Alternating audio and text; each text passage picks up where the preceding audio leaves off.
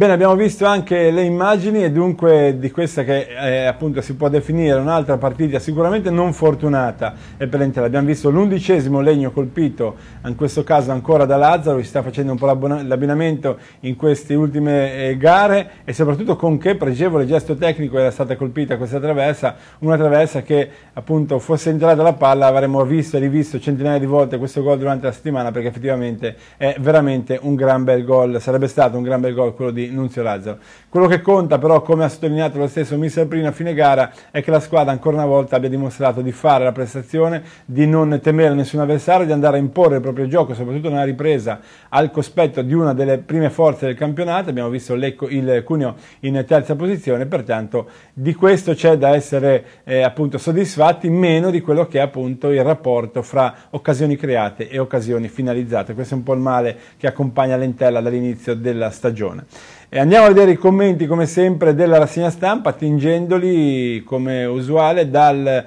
eh, sito ufficiale dell'Entella www.entella.it partendo dal secolo XIX Entella beffata Cuneo Amlili illude i biancocelesti nella ripresa inutili attacchi poi c'è anche la sala stampa dove eh, il Secre evidentemente non è riuscito a incrociare eh, Luca Prina, mentre la Gazzetta lunedì è riuscita comunque a intervistare il tecnico. Naturalmente la squadra, eh, viste anche le condizioni climatiche in atto, ha preferito eh, ripartire immediatamente e tornare più fretta possibile a Chiavari. C'è da appunto sottolineare eh, quella che è stata la sportività eh, l'obiettività di Ezio Rossi, che peraltro è un tecnico che non ha bisogno di presentazioni, avendo alle spalle un curriculum di tutto rispetto, che l'ha visto allenare in Serie A e in Serie B. Dicevo, nel eh, appunto aver riconosciuto all'Entella i propri meriti, dice Rossi, nella ripresa non siamo riusciti a ripeterci con la stessa intensità e la formazione eh, chiavarese ha trovato troppi spazi. Onestamente devo ammettere che nel corso del secondo tempo l'Entella ha dominato, questo è il commento di Rossi. Ehm, un commento che poi è stato un po' ripreso da altri eh, da altre dichiarazioni, intanto ci sono anche le pagelle che appunto per essere stata una partita che ha visto la sconfitta dell'Entella troviamo diversi 7, diversi, tutte su Vicenza, diversi 7, diversi 6 e mezzo, quindi una pagella tutto sommato positiva come appunto doveva essere vista la prestazione. La del lunedì invece titola Intella fermata da Legni e sfortuna, Lazzaro colpisce la traversa, il portiere del Cuneo protagonista, immeritata sconfitta. Questo è il parere unanime appunto anche sulla Gazzetta lunedì. E anche in questo caso poi come dicevamo c'era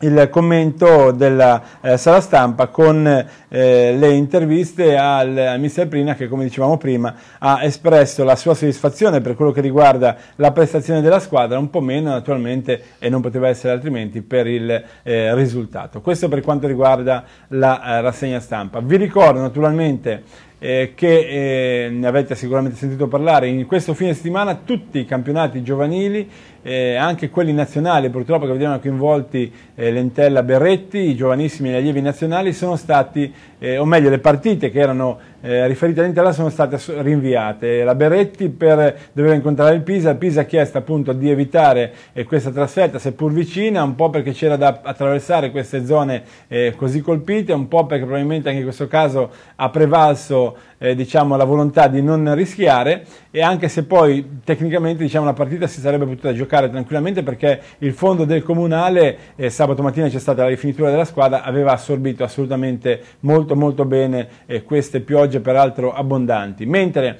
le altre due gare i giovanissimi dovevano andare a giocare sul campo del Genoa qui ovviamente molto comprensibile la scelta di non giocare mentre gli allievi che avrebbero dovuto ospitare la Valenzana a Chiavari anche in questo caso hanno ricevuto la richiesta da parte della formazione piemontese di evitarsi questa trasferta. Anche il Basso Piemonte è stato colpito duramente nella giornata di sabato dalle piogge abbondanti e quindi diciamo che comunque era una situazione a rischio e si è preferito, naturalmente eh, evitarla. Eh, tutti invece il, i campionati regionali erano già stati eh, preventivamente sospesi a partire da venerdì sera quando la situazione si sapeva sarebbe diventata comunque molto difficile. Quindi un fine settimana se vogliamo di riposo eh, o comunque di pausa per tutto il calcio eh, giovanile riguardante naturalmente la parte eh, bianco-celeste così come, come, tutte le formazioni come abbiamo detto ri, ehm, riguardanti i campionati regionali e provinciali eh, della appunto, federazione del comitato regionale Ligure quando appunto il presidente Sonno venerdì ha preferito sospendere tutta l'attività per una settimana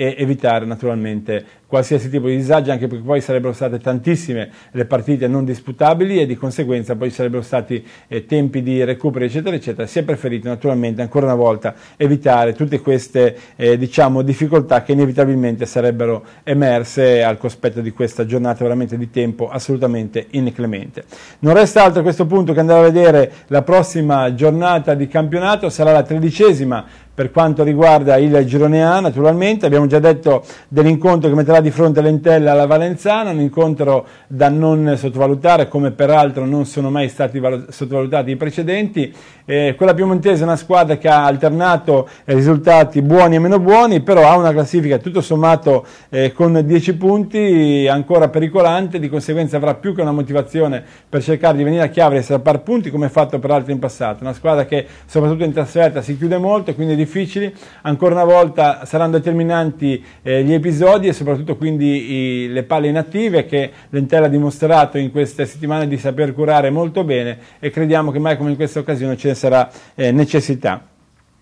Vediamo il quadro completo con Bellaria Pro Patria, Alto Turno Casalingo per la formazione romagnola che ospiterà appunto la squadra di Busto, Borga Buggiano Giacomense, Casale Savona, anche questa è una partita eh, dal sapore antico, se non fosse che appunto il Savona attualmente sta attraversando una crisi societaria ancora irrisolta e che per la verità non trova all'orizzonte eh, grandi vie d'uscita. C'è stato anche qualche, chiamiamolo ultimatum, comunque qualche eh, scadenza lasciata e lanciata dagli attuali dirigenti perché eh, la squadra, la società è meglio, è indietro di tutti e quattro le mensilità pagate che si sarebbero dovute pagare fino a questo punto, eh, pertanto c'è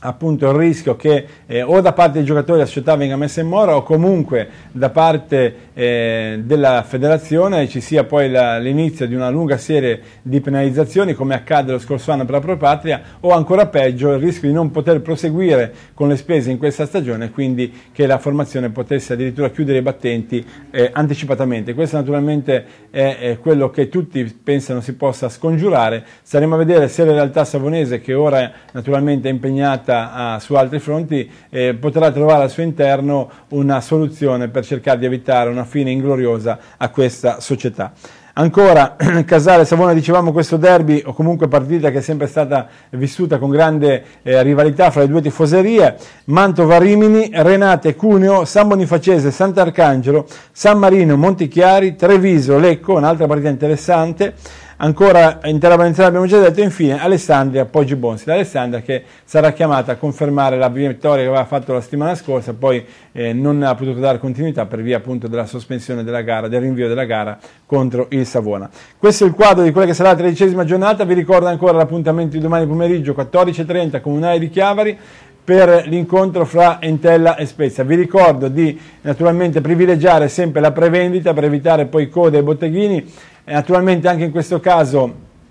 per quello che riguarda anche gli accrediti saranno redatti normalmente, cioè con eh, la trasmissione dei dati e poi al momento di tirare il biglietto, al contrario delle altre domeniche, ci sarà appunto la corresponsione di quello che è l'importo eh, del biglietto per questa partita, unicamente per questa partita. E vi ricordo ancora appunto che tutto il ricavato di questa gara andrà assegnato in beneficenza alle popolazioni colpite dal eh, recenti alluvioni. È tutto per quest'oggi, vi do appuntamento a martedì prossimo per